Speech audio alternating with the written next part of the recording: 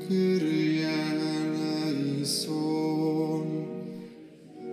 24 grudnia wspominamy błogosławionego Bartłomieja Dalmonte, prezbitera. Bartłomiej urodził się w Bolonii 3 listopada 1726 roku jako piąte dziecko we wiejskiej rodzinie. Czworo z jego rodzeństwa niestety zmarło przed nim. Rodzice bardzo troszczyli się o niego. Matka Bartłomieja powierzała go opiece świętego Franciszka z Paoli. W wieku siedmiu lat został bierzmowany przez arcybiskupa Bolonii kardynała Prospero Lorenzo Lambertini, późniejszego papieża Benedykta XIV. Bartłomiej uczył się w szkole prowadzonej przez księży jezuitów. Później studiował nauki humanistyczne. Wtedy właśnie rozpoznał w sobie powołanie do kapłaństwa.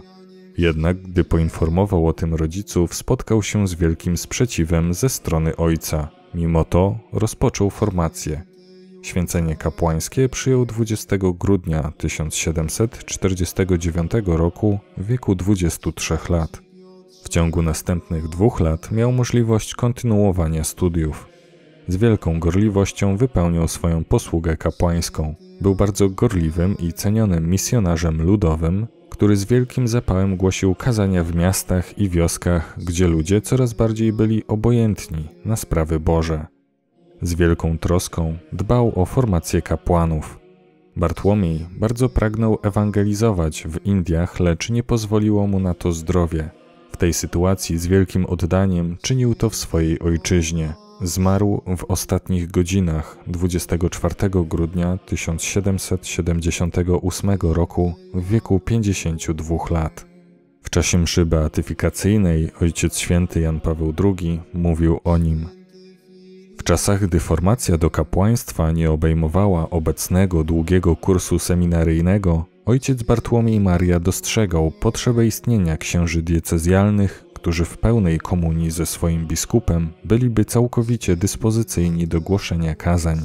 Aby ich odpowiednio przygotować, powołał do życia pobożne dzieło misyjne, które stało się prawdziwą szkołą apostołów. Był przekonany, że na trudnej drodze do świętości nie można być samoukiem. Z tego powodu zadbał o odpowiednie zaplecze szkoleniowe dla swoich współpracowników, dedykując im ciekawe pisma, których był autorem. Energię do tak wyjątkowej posługi czerpał z mszy świętej, adoracji eucharystycznej i spowiedzi sakramentalnej, które były w centrum jego życia i działalności misyjnej oraz duchowości. Ślady tej pobożności eucharystycznej znajdujemy często w jego pismach, które ukazują jego codzienną troskę o zbawienie dusz, priorytet jego zaangażowania ascetycznego i duszpasterskiego. Całe jego życie było ukształtowane przez posługę Chrystusa, gorliwego w głoszeniu prawdy i piętnowaniu wad, ale wyrozumiałego i miłosiernego wobec grzeszników. W ten sposób stał się żywą ikoną tego, który jest bogaty w miłosierdzie.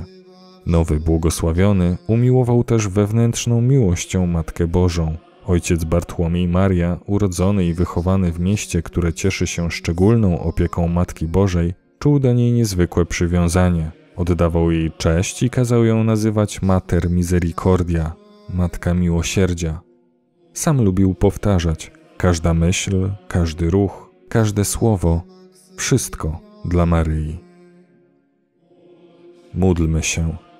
Boże, światło i pasterzu wiernych, Ty postawiłeś błogosławionego Bartłomieja na czele Twojego ludu, aby go karmił słowem i kształtował własnym przykładem. Spraw, abyśmy za Jego wstawiennictwem zachowali wiarę, której nauczał i szli drogą, którą wskazywał. Przez naszego Pana, Jezusa Chrystusa, Twojego Syna, który z Tobą żyje i króluje w jedności Ducha Świętego, Bóg przez wszystkie wieki wieków. Amen.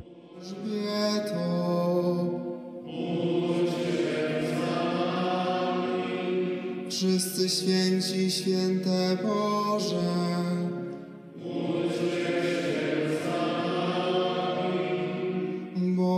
Krishna me.